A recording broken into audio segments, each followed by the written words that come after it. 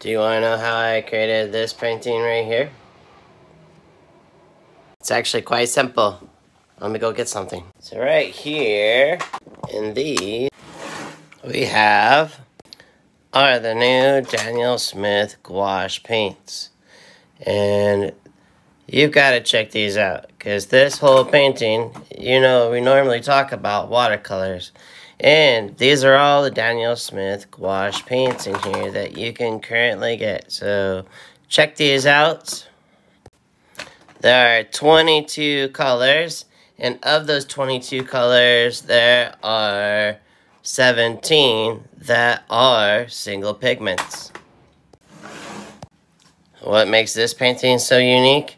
It's because it's all opaque and it has this nice big beautiful milky look to it. And you can create something like that yourself.